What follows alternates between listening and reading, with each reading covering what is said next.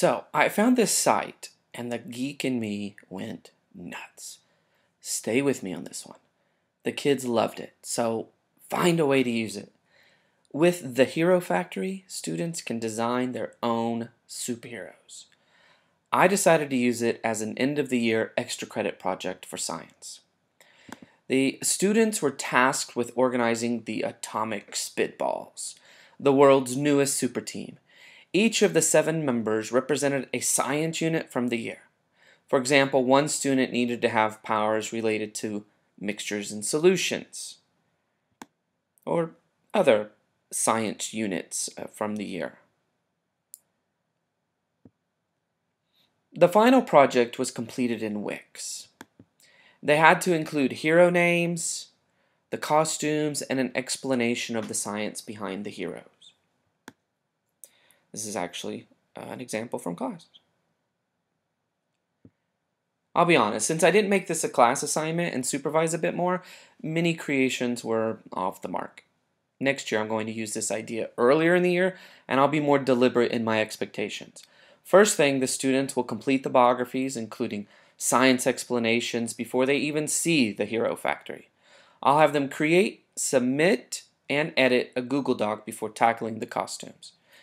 In this exercise, in a way, and I might be reaching, the students are explaining and illustrating the concepts. I think the Hero Factory works great with science, and it will take some creative thinking to make it work with other subjects, but let me offer a couple of ideas. Could the students use it to review and internalize historical figures? No, I didn't write uh, explanations, but uh, that's certainly something the kids uh, would be expected to do.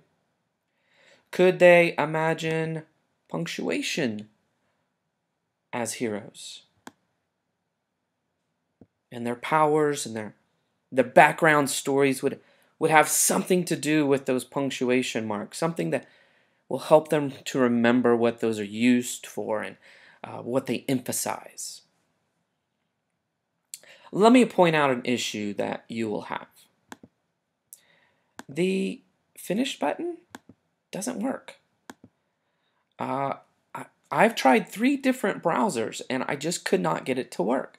So I taught my students to use the snipping tool to take screen photos. On a Mac, you'll need to use the Shift Command 4 to take screen photos. I assure you, the students were thoroughly excited about this tool. Even when ideas weren't easily popping into their minds, they persevered and worked together to design their heroes. Using technology and cool applications will do that. Kids aren't quick to give up. For that reason, you have to find something to use in your classroom. I hope you'll use the Hero Factory. Have fun.